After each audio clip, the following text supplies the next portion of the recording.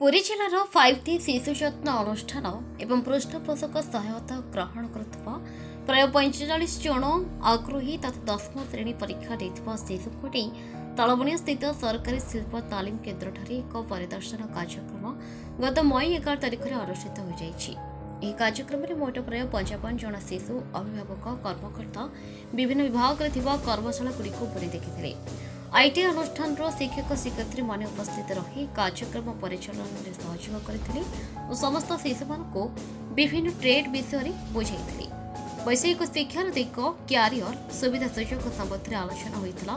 ପରିଦର୍ଶନ ଶେଷରେ ଶିଶୁମାନେ ସେମାନଙ୍କର ଅନୁଭୂତି ଇଚ୍ଛା ପ୍ରକାଶ କରିଥିଲେ। ଏହି କାର୍ଯ୍ୟକ୍ରମରେ ଅନୁଷ୍ଠାନ ଅଧ୍ୟକ୍ଷ ଅରବିନ୍ଦ ଘୋଷ ଶିକ୍ଷକ ସନାତନ ସାହୁ ଜିଲ୍ଲା ଶିଶୁ ସୁରକ୍ଷା ୟୁନିଟ୍ର ସୁରକ୍ଷା ଅଧିକାରୀ ଶୋଭ ନାରାୟଣ ଶତପଥୀ ସ୍ନିଗ୍ଧା ରାଣୀ ସାହୁ ଶିଶୁ ଯତ୍ନ ଅନୁଷ୍ଠାନର କର୍ମଚାରୀମାନେ ଯୋଗ ଦେଇଥିଲେ। ଏହି ଶିଶୁମାନଙ୍କ ନିମନ୍ତେ ବୈଷୟିକ ଶିକ୍ଷାର ଗୁରୁତ୍ୱ ଉପଲବ୍ଧି କରି ଏପରି କାର୍ଯ୍ୟକ୍ରମର ଆୟୋଜନ କରାଯାଇ ଆସୁଛି ଜିଲ୍ଲା ଶିଶୁ ସୁରକ୍ଷା ଅଧିକାରୀ ମନୋଜ କୁମାର ତ୍ରିପାଠୀ କୁହନ୍ତି ଶିଶୁମାନଙ୍କ ଦକ୍ଷତା ବୃଦ୍ଧି ଓ ସେମାନଙ୍କୁ ରୋଜଗାର କ୍ଷେତ୍ରକୁ ଆଣିବା ନିମନ୍ତେ ଏହା ଏକ ସମ୍ମିଳିତ ପ୍ରୟାସ ଓ କ୍ୟାରିୟର କାଉନ୍ସିଲିଂର ଅଂଶବିଶେଷ।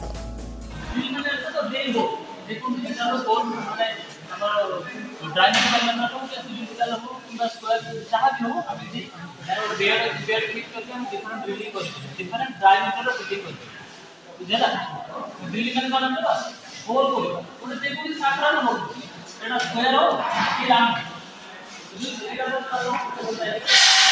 देखो ना वो मूवी पर स्टार्टिंग में से कुछ हो যদি অ্যাপিকরণ তাহলে যদি এটা তাহলে ম্যাক্সিমামে ইফেক্ট হবে। তো মেশিন পুরো করে না না সবটা অ্যাপিকরণ আর প্ল্যাটফর্মটা বানাবো দিকে আমরা पुरी रमेश दाऊ का रिपोर्ट संघर्ष टीवी